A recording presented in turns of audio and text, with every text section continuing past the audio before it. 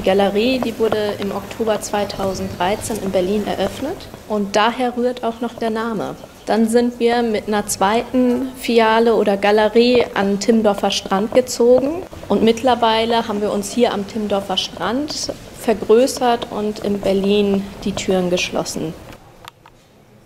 Hier ist eigentlich so meine Lieblingsgalerie in Deutschland. Ähm, wir sind ja in der Artbox Berlin, im Timmendorfer Strand. Und seit drei Jahren habe ich hier die erste Ausstellung wieder.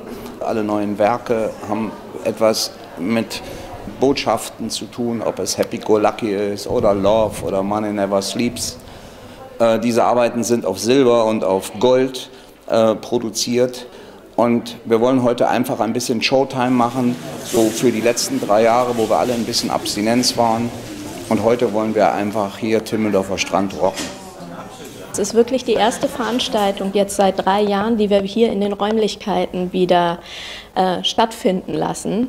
Mit Gästen, mit unseren Kunstfreunden und Sammlern und mit dem Künstler Devin Miles. Und ja, das macht das so besonders. Lange nicht, endlich mal wieder. Und durch die ganzen Beschränkungen, ob es personenmäßig war, man durfte dann kein Essen, kein, keine Getränke ausschenken.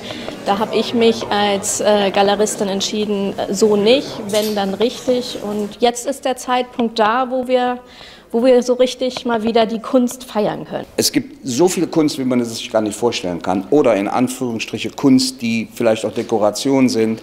Aber ich versuche über die Nachhaltigkeit, ich benutze neue Medien wie hochglanzpoliertes ähm, Aluminium, welches ich vergolden lasse. Ich habe vor 15 Jahren angefangen mit gebürstetem Aluminium, jetzt ist es Edelstahl und so entwickelt man sich auch immer weiter.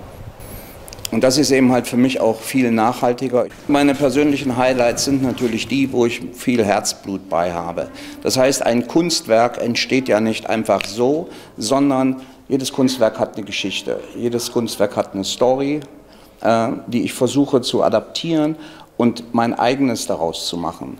Und so sieht man es bei meinen Werken, es sind immer Stories, also es sind immer wieder Dinge auf den, zum Beispiel hier President Dead, Connolly Shot. Ja, das hat was mit Marilyn Monroe zu tun. Das ist eben halt damals in Dallas passiert. Sie war die Geliebte von JF Kennedy. Und das ist selber eine Geschichte, die mich emotional mitgenommen hat. Und so übertrage ich das dann in meiner Kunst ich mache die Kunst für mich. Und jedes, das, jedes Werk, welches hier hängt, ist ein Kunstwerk von mir, das ist meine Handarbeit und damit identifiziere ich mich und das ist, was mir gefällt.